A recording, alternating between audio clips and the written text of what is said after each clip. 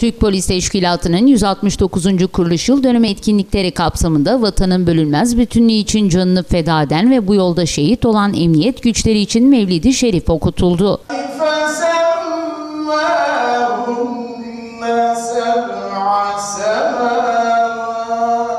İskenderun Merkez Kaptan Mehmet Paşa Camii'nde gerçekleşen Mevlid-i Şerif programına İskenderun İlçe Emniyet Müdürü Cengiz Başar, emniyet amirleri, emniyet mensupları ile çok sayıdaki vatandaş katıldı. Adını